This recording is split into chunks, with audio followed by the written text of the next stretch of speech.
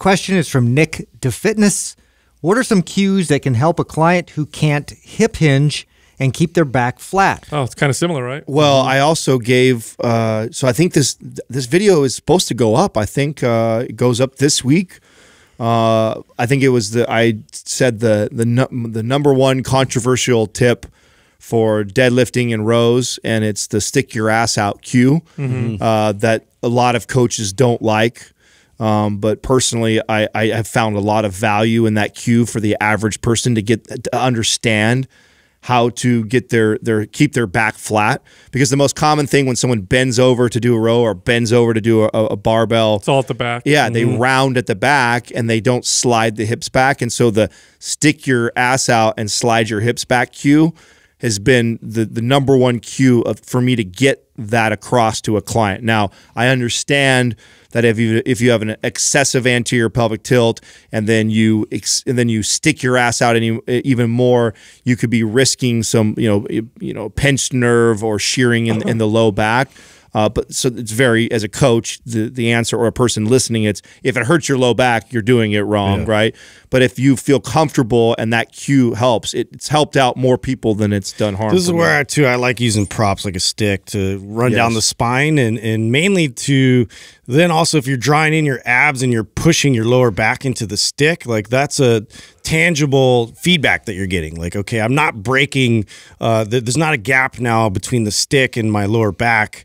And also too to be able to kind of be close to the wall but not completely close to where uh, you know there's I I tell them to have a soft knee, so it's like just barely flexed, and then I want to try and touch my butt to the to the wall. Oh, that's a great that's a great idea. I've actually never used that because Yeah. again, another the, the stick, the wall are just feedback tools. It makes just it, feedback, yeah. we did a video. We did a YouTube video. I did a video. I did a YouTube video on the stick. So, uh, and I think that's one of the most. I learned that at a certification course back in like 2004 or five, and after that, I carried a PVC pipe around with me everywhere as a trainer, and like almost every you know first client or early client that I got in the first week or two, I would bring that out to teach hip hinging because I think that that is probably one of the most powerful. It's hard too, like just to keep those three points of contact. You're putting the spit, the, the stick down the back of their spine, and it goes all the way from their head down to their butt.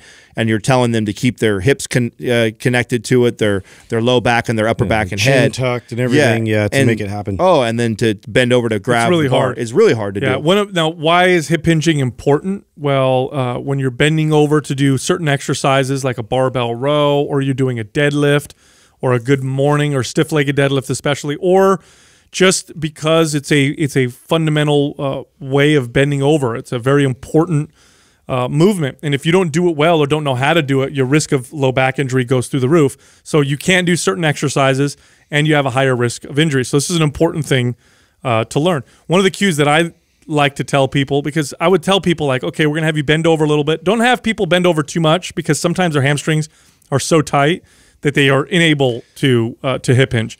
So I'll tell them bend over a little bit, maybe 45 degrees, maybe even a little higher. And then I'd say stick your butt out. If that didn't work, I'd say stick your chest out.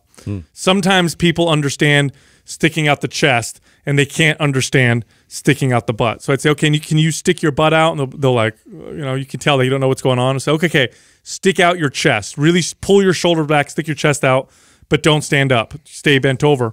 And then automatically they would get into that hip hinge position. Then I'd say, okay, keep your chest stuck out, stand up, and then bend back over and hold that position. And then they'd start to kind of pick Yeah. up what that feels like. Yeah, to kind of piggyback on that, that's where I would have like people put their hands behind their lower back, like a waiter's bow, and so that way they are kind of you know placing uh, their shoulders in that position by also like folding their hands on their lower back, and then it kind of helps them to you know maintain that sort of rigid back. it's just crazy how we lose because if you don't do these movements um, on a regular basis, you'll lose the ability to really be able to do them naturally, um, and that can cause a lot of problems.